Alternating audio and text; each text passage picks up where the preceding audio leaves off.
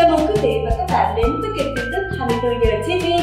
Chúc quý vị có những phút giây trải nghiệm tuyệt vời và đừng quên click vào nút đăng ký kênh và chuông thông báo ở ngay bên dưới tay phải màn hình của các bạn để nhận những tin tức mới hấp dẫn được cập nhật mỗi ngày nhé.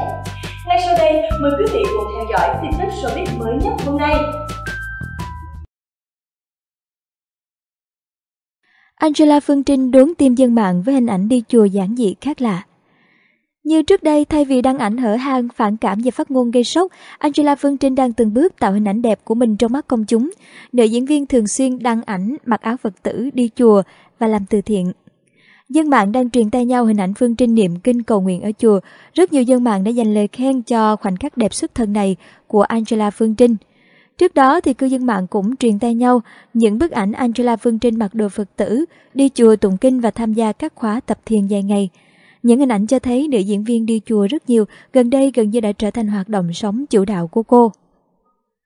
Cuộc sống của Trinh hiện tại rất bình dị, không sôi nổi như trước, nhưng lại quý giá hơn thật nhiều, mang theo cái hương vị tình người, gắn kết, sự sâu lắng nơi con tim, với bao điều tốt đẹp luôn hiện hữu phía trước. Nữ diễn viên được khen ngợi trong thanh thoát khi khoác lên mình bộ Phật tử. Đã lâu cô không trở lại màn ảnh trong một vai diễn mới, nhưng cuộc sống của Angela Phương Trinh hiện tại được cho là rất dễ chịu gỡ bỏ được nhiều khúc mắc trước đây. Cô thường xuyên cùng các sư và bạn bè người thân tham gia nhiều hoạt động ngoài trời, các khóa tu dài ngày giúp mọi người kết nối với nhau. Trong mắt nhà chùa, Angela Phương Trinh là một Phật tử chăm chỉ và tâm huyết trong các hoạt động. Thời gian này Angela Phương Trinh không ra phim hay sản phẩm mới, thậm chí cô còn dành thời gian cùng người bạn thu âm một bài đọc dành cho các Phật tử trên nền nhạc Phật.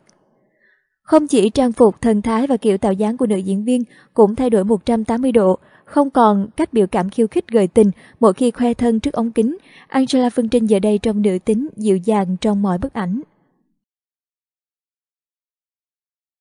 Angela Phương Trinh và Nhã Phương nhận xét về con người của Trường Giang. Quý vị thân mến, trong sự nghiệp diễn xuất, Trường Giang có cơ hội đóng cặp với rất nhiều những diễn viên xinh đẹp và tài năng. Không chỉ có những sự kết hợp ăn ý trên màn ảnh, Trường Giang còn có cơ hội đóng cảnh tình tứ với bàn diễn. Năm 2015, lần đầu tiên Trường Giang hợp tác với Nhã Phương trong dự án phim điện ảnh 49 ngày. Trong phim Trường Giang vào vai Đông, một anh chàng xui xẻo nhất trái đất, mồ côi cha mẹ từ nhỏ, không tiền bạc, không ngoại hình. Với Nhã Phương, cô đảm nhận vai bạn gái xinh đẹp đáng yêu của Đông. Cả hai cùng trải qua nhiều tình huống trớ trêu và sau đó mối quan hệ này có cái kết đầy bất ngờ. Khi chưa công khai mối quan hệ tình cảm, Nhà Phương nhận xét về quá trình làm việc với bạn diễn rằng đầu tiên mình sợ ông ấy lắm. Làm việc với diễn viên hài cực kỳ mệt mỏi vì tôi diễn phim buồn nhiều. Khi diễn với diễn viên hài cảnh khóc là mình không thể khóc được. Nhìn mặt đã buồn cười thì làm sao mà diễn. Về tính cách của Trường Giang, Nhà Phương nhận định Trường Giang trong mắt tôi là người tốt, thật sự rất tốt. Anh biết nghĩ cho người khác, biết quan tâm mọi người. Điển hình như khi mọi người quay đến 3-4 giờ, anh Giang vẫn ra sức chọc cười để đoàn phim quên đi cái mệt, dù anh là người có nhiều cảnh quay nhất. Sau này khi thừa nhận đang hẹn hò với Trường Giang, nhà Phương chỉ tiết lộ cuộc đời cô có nhiều biến động, nhưng cô vẫn dành rất là nhiều lời có cánh cho người yêu khi trả lời phỏng vấn với truyền thông. Ngay sau khi đóng chung phim với nhà Phương, Trường Giang cùng Angela Phương Trinh tham gia dự án Taxi Em Tên Gì. Trong phim, Angela Phương Trinh vào vai Bình Chi, tài xế taxi mạnh mẽ cá tính và phải lòng chàng tiến sĩ khu khờ Thượng Phong do Trường Giang đóng. Cuộc tình cặp đôi trở nên là thoáng qua vì Thượng Phong đã là có bạn gái rồi và Bình Chi thì không muốn trở thành người thứ ba. Dù là tình hờ nhưng khi bấm máy Angela Phương Trinh và Trường Giang cũng có những cảnh khóa môi rất ngọt ngào. Chia sẻ cảm xúc khi đóng phim với nam danh hài được đông đảo khán giả yêu thích, Angela Phương Trinh tâm sự cô thích Trường Giang từ khi nam nghệ sĩ này diễn ở sân khấu kịch. Sau thời gian gắn bó ở phim trường, Angela Phương Trinh kể, Trường Giang là người nghiêm túc, làm việc luôn cố gắng chứ không nửa vời. Bật mí về kỷ niệm khó quên của cả hai, Angela Phương Trinh cho biết khi đóng phim ở thời tiết giá lạnh của Đà Lạt, Trường Giang hay nhường áo ấm cho cô. Có những phân cảnh khó phải làm việc trong điều kiện khắc nghiệt, Angela Phương Trinh luôn được Trường Giang động viên để vượt qua mọi khó khăn.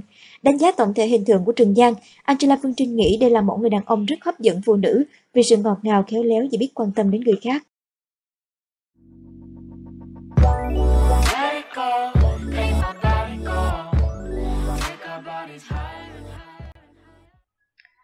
Phương Trinh Jolie, tôi hối tiếc vì chưa kịp báo hiếu mẹ mình.